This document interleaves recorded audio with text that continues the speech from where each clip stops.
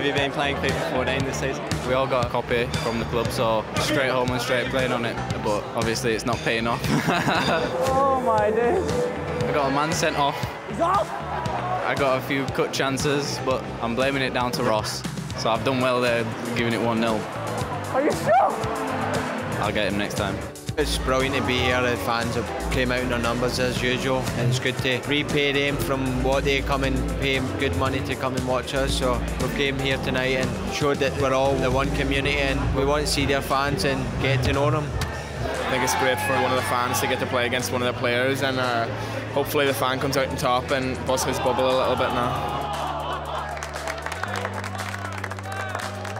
What was your favourite goal? I'd have to say the one where I've been playing it around and he was running around doing doggies and then went one on one with the keeper and he's brought him out and I've chipped it to the side and tapped it in.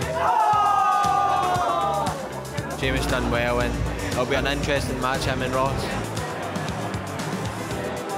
Ross, congratulations, you're the Everton FIFA 14 champion. Yeah, thanks. Um, I think he just ran out of steam, didn't he, in the first half?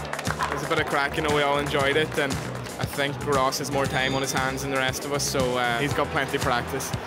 Just naturally good at it, aren't I?